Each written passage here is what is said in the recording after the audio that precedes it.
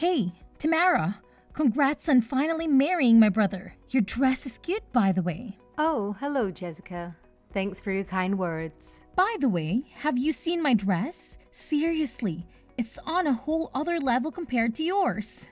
And check out this lavish fur that gracefully drapes around my off shoulder design. It's nothing short of pure magnificence, don't you think? Um, well, I guess that design also looks great. But hey, don't you think the dress is a bit too white? I don't want to steal the spotlight at your own wedding, but this dress is just too adorable to resist. It's like it was begging me to wear it, you know? Like it's my destiny or something. I couldn't say no to that. Hope you're not mad.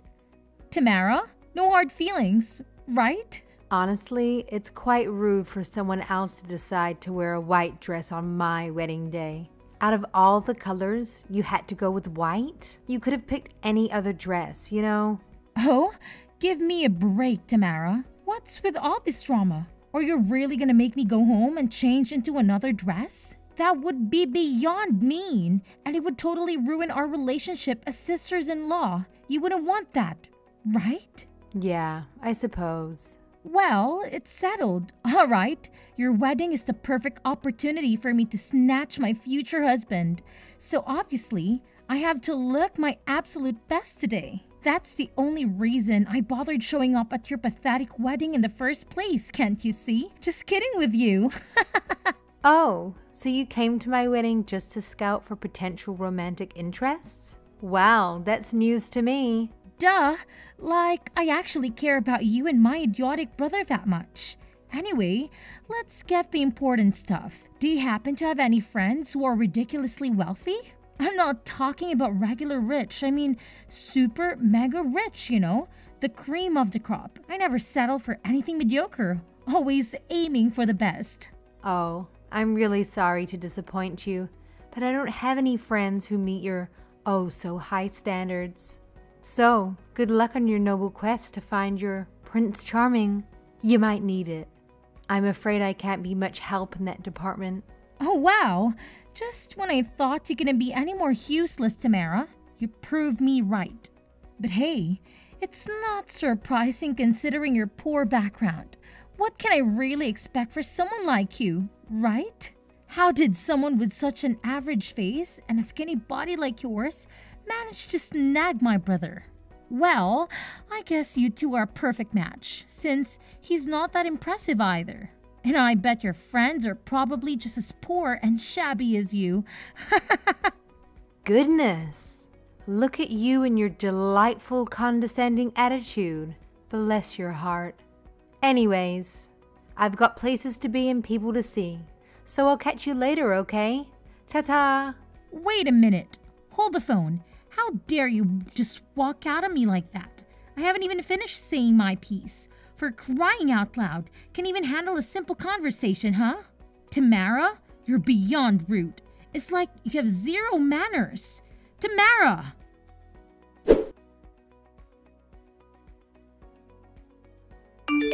Oh, Tamara, now that you've married into my precious family, why don't you start pulling your weight and help me and my darling daughter out? Don't even think for a second that just because you're living in a separate house with my son, that you can avoid your duty as a daughter in law. No, no, no, no, no. That's simply not the case. You hear? Wait. Hold on, Nancy. What are you even talking about? I'm totally lost here, and I just don't get it. Can you please explain it to me again? Oh, spare me the act, will you? I see right through your pathetic lies and deceptive games. You're just trying to have my son all to yourself, aren't you? You want to manipulate him and turn him into our, your obedient little lapdog. Well, well, well. Look at what we have here a wicked and cunning woman in disguise. Um, Nancy? I think there's a serious misunderstanding going on here. Just to clarify, I have absolutely no intentions of doing that at all. It's all a big mix up, trust me. Since you don't claim you don't have any of those thoughts, why don't you prove it to me? Here's an idea. Since I'm a little too busy for it today, how about you take care of making lunch for my precious daughter? If you want to whip up some food and drop it off at my place by 12, I wouldn't want my little angel to starve, so make sure you show up at the right time. Got it? So, let me get this straight. You've been blowing up my phone for nearly an hour just to ask me to cook for your daughter? Come on, you're desperate to prove your worth to this family, right? Well, here's your golden opportunity. It's your chance to shine. Unless, of course, you'd prefer to see your cute and kind sister in law starve herself to death? Also, you can get your greedy hands on her inheritance? Whoa, whoa. Hold on a second, Nancy. I think you're taking things a bit too far here. Let's calm down and take a step back, okay? Wow, you truly are a wicked one, Tamara. My son should have known better than to marry the kind of woman like you. Just a friendly reminder it was me who agreed to this marriage, so getting my son to divorce your pathetic self would be a piece of cake. Fine. I'll go ahead and make her something to eat. It's not really a big deal, to be honest.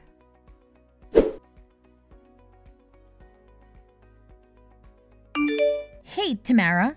Is this what you have the audacity to present me as food? This sorry excuse for a meal is repulsive. It makes pig slop look like a gourmet delicacy in comparison. I can't believe you have the nerve to serve me the abomination as my lunch. It's an absolute crime, Tamara. A crime against my taste buds and my dignity. Do you take pleasure in torturing me with such slop? What are you talking about? I specifically made chicken curry, your favorite dish. Can you jog your memory, please? The last time you visited my place, you polished off an entire plate of it and even requested seconds. Surely you remember that, right? Maybe my taste buds took a hit that day because this is definitely not what I'd call human food. But hey, I'm a generous and considerate woman, so I'll let it slide. Gotta keep up the good vibes with my lovely sister in law, right? Anyway, I've got a burning question for you. That house you and my brother are living in, is it a rental or do you guys actually own it? It looks old, quite spacious, so it's passable. Passable? What do you mean? Hey, forget about the small stuff. Just spill the beans and answer my question already. Is that place you guys are living in a rental or do you actually own it? Oh, well, I don't rent this house. It's actually the house that I inherited from my late grandmother. So I'm the owner. Uh, why do you ask? Wait, what? So that massive house is actually yours? I never saw that coming. I thought you were broke as a joke, crashing on the streets or something. anyway, you know what? This is the perfect moment because I've got something I've been dying to ask you. Oh, okay. What is it then? The thing is, I'm also getting itch. Can you even handle the excitement? But let's be real. It's not too surprising, right? Just take a good look at my drop dead gorgeous curvaceous body. Who in their right mind would dare say no to that? And let's not forget about my irresistible charm and my direct approach with men. You know how they simply can't resist me, right? It's like I have a magnetic pull or something. Oh, wow, congratulations! That's amazing news. So, do tell, who's the lucky guy this time round? Is it the same man you mentioned before? The one you had an affair with? I remember you talking about him once. I'm curious to know all the details. Oh, come on. It wasn't some scandalous affair. We just happened to meet in a slightly unconventional way. That's all. It's all about true love, you know. But no, it's not him. Well, then, I guess. Maybe the guy who approached you recently? Nah, you silly goose. It wasn't some random other thing. I spotted his intense gaze and made the first move, but guess what? It's still not him. There's a whole different guy in this picture this time around. Well, who then? Hey, Tamara, you're getting really nosy here, but hey, if you're dying to know, I guess I have no reason to keep it a secret anymore. Check it out. It's the guy I met at a speed dating event. Turns out he's the son of some wealthy man. Can you believe it?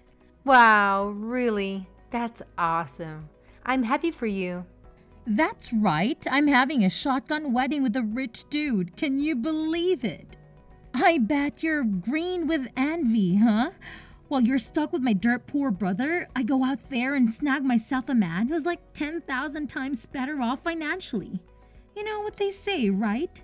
Dumb people marry for love, Well, smart people marry any rich guys they come across. Classic, right? Wow, seriously? Because I've never ever heard such an enlightening saying in all my years. That must be some groundbreaking wisdom you just shared there. You've truly expanded my knowledge, Jessica. Mind blowing. Come on, Tamara. Are you mocking me right now? Anyway, check this out. I'm also pregnant with this child. Yep, that's my secret weapon to keep a wealthy guy all to myself. Pretty genius move, don't you think? Gotta play those cards right. That's great. I'm genuinely happy for you. So, if you don't mind me asking, when did the speed dating event happen? I'm curious to know the timeline of how everything unfolded. Well, it was about three months ago. You guys only met three months ago and you're already jumping into marriage? Wow, I must say, I feel really sorry for him and his family already. Talk about rushing things. Good luck with that, I guess. What? What do you mean by that? Nothing. So, did you break up with the other guys? Oh, not yet.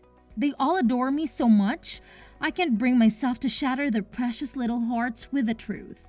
You know, how utterly kind hearted and considerate I am, right? Always putting others before myself. That's just who I am. But let's get real here. My marriage to a wealthy man was bound to happen. I'm just darn lovable. But you know what truly satisfies me? Money, and loads of it.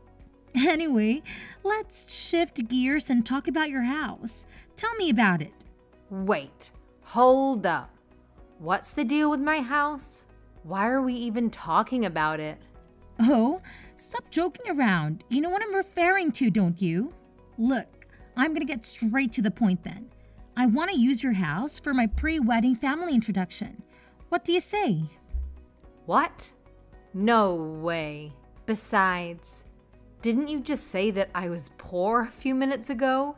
Excuse me? What the hell did you just say? Are you seriously telling me that you flat out rejected your own sister in law's request? Well, don't you think the groom's family would rather see their future daughter in law's real home? Just saying, it might make more sense to them, you know? But my place is just a tiny apartment, and it's a bit of a mess. Are you honestly suggesting that I bring my future spouse there?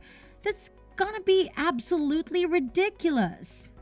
You can always tidy the place up. Besides, won't they find it strange if they're invited to the bride's brother's house? Don't be too concerned. I'll just tell them if it's my family's place instead of yours. How does that sound to you? And what if they find out the truth? What are you gonna do then? Are you really that clueless? As long as you and your husband keep quiet, it'll be just fine.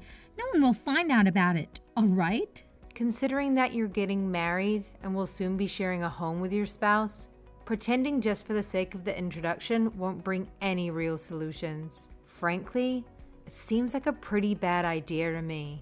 Once we're married, he'll be mine. Plus, I'm also pregnant with this child, so nothing bad will ever happen. I don't know, Jessica. It's just not that simple. Oh, come on! You married my brother, remember? That automatically makes you a part of his family. So quit being so selfish when it comes to your own damn family. If you're so concerned, why don't you just hand over your house to me once and for all, huh? What are you trying to say there? I'm a bit confused. Oh, come on. You totally get what I'm getting at, right? Just hand me your house, and all our problems magically disappear. It may be an old shack, but I'll graciously accept it. No worries. Yep, that's such a genius plan, and I'm sure Mom will absolutely adore the idea. No, I can't do that. This house has sentimental value to me. It belonged to my great grandma. It's been passed down to me. Don't you know? Once you're married, everything belongs to the husband's family, so your house is also my house. I've never heard of such a rule. Well, you better get this through your thick skull. What's yours is ours. Got it? So it's decided then. Next Sunday, I'm dragging my fiance and his family to your place. Oh, and make sure you make a fancy and adorable feast for us. And obviously, make sure you give me all the credit for cooking those dishes. Oh, and don't forget to swap those hideous curtains you have. They're so repulsive, I can even bear to look at them. But this isn't right, Jessica. We're counting on you, sister in law. Don't disappoint us.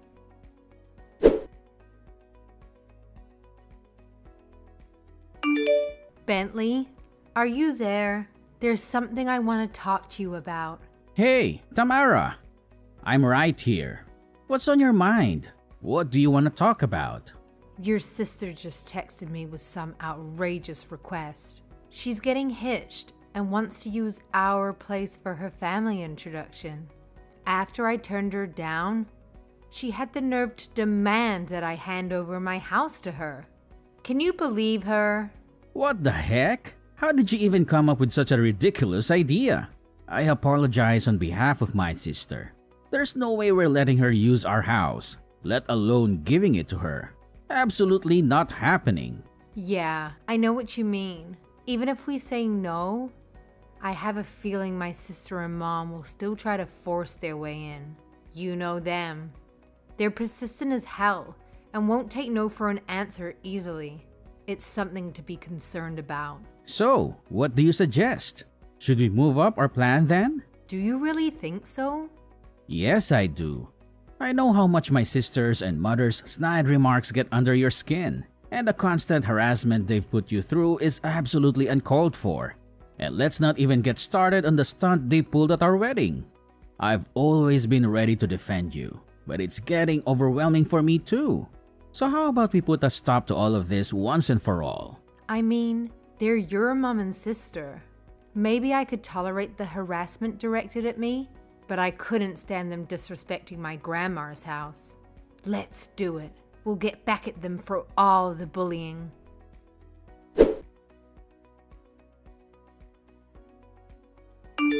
Hey Tamara, did you manage to get everything sorted out like I asked? I really want my daughter's wedding to be a huge success, you know? Well, about that, Nancy. I was wondering if I can have a bit more time. We're thinking of remodeling to make it look more suitable for the couple. Wow, Tamara, you're actually going all out for my daughter? I totally misjudged you. You're such an amazing and cooperative daughter in law. Brentley definitely made the right call marrying you. But hey, don't forget, we still have wedding preparations to tackle.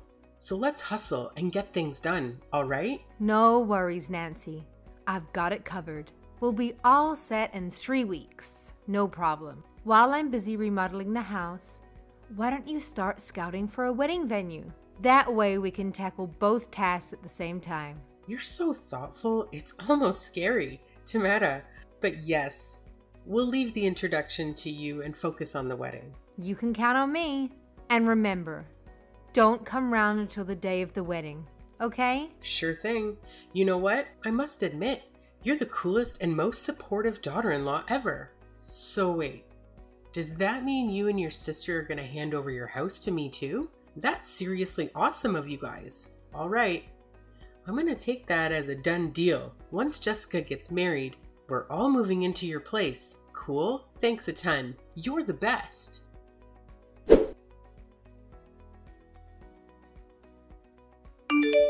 Tamara, what the hell have you done? Explain to me now. What? I thought you'd appreciate it. It's great, isn't it? Have you completely gone off the deep end? This level of insanity is just beyond words. What are you talking about? Can't you see how awesome I am?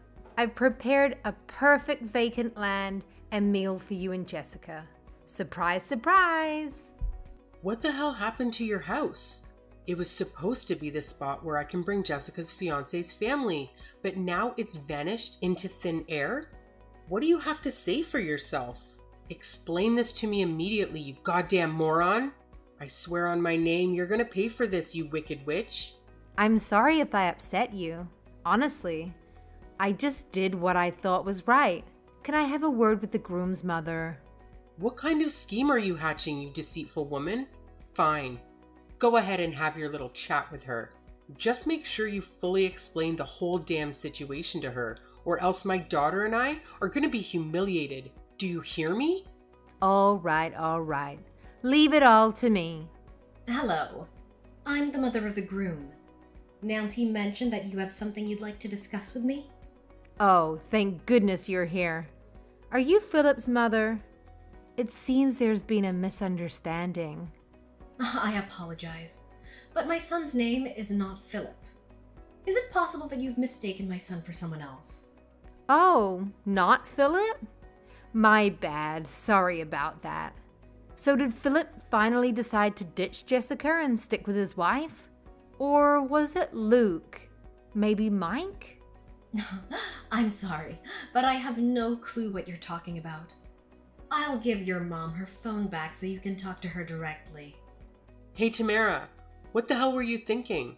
Why did you list out all the guys my daughter has dated in the past? Are you out of your mind?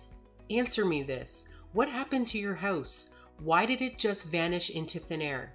Well, let me clarify it once and for all. The house didn't just magically disappear, it was actually demolished. We had a tight deadline and worked tirelessly, sacrificing a lot. But don't worry, everything's sorted now. Wait, what? You're telling me it's been demolished? Are you saying this for real? That's correct. My grandma had planned to demolish the house and convert it into apartments. The truth is, the house wasn't earthquake resistant, and maintaining an old property like that was becoming quite challenging. Despite that, initially I wanted to keep the house because it held all my cherished memories of my grandma. However, as time went on, it became increasingly difficult to maintain the property, and the expenses kept piling up. On top of that, dealing with you, Jessica, and the constant disruptions you caused in my life made me reconsider. Your frequent appearances at my house, causing trouble and creating scenes, became unbearable. But but you told me you were remodeling your house. Did you just make that up? Yeah, kinda. I didn't want you to tarnish the memories associated with my house. And I also didn't want to jeopardize my relationship with my husband. After much contemplation, I made the tough choice to demolish the house and leave it empty for the time being. How did this even happen? Why didn't you bother to tell me earlier? Is this some deliberate scheme to destroy our reputation, mine and my daughter's? I demand the unfiltered truth. Tell me, where on earth are you living now? I swear, I'll personally come over there and make sure you learn your lesson. Oh, it's nice to see that you still care about me. But don't worry, everything's under control. My husband and I have already secured new jobs, and we'll be moving back to my hometown very soon. What's up with that doghouse sitting in the middle of the vacant land? Is this some messed up prank or what? Seriously, this is the most disrespectful thing I've ever come across. Oh, don't you just love it? I whipped up this masterpiece just for you and your daughter. It's a luxurious log cabin design, which, by the way, totally blew my budget. And check out that tag that it says Nancy and Jessica.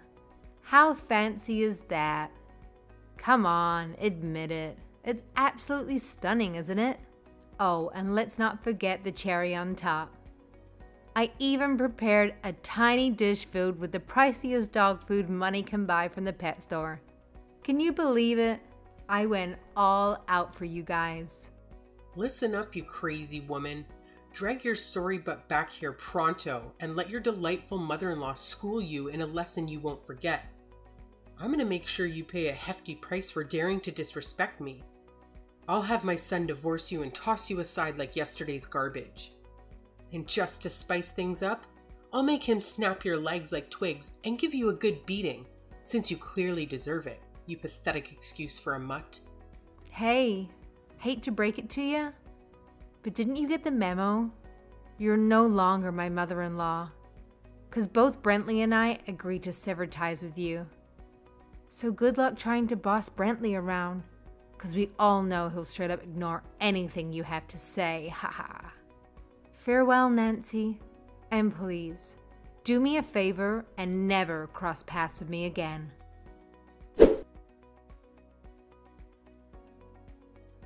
A year and a half has passed since then.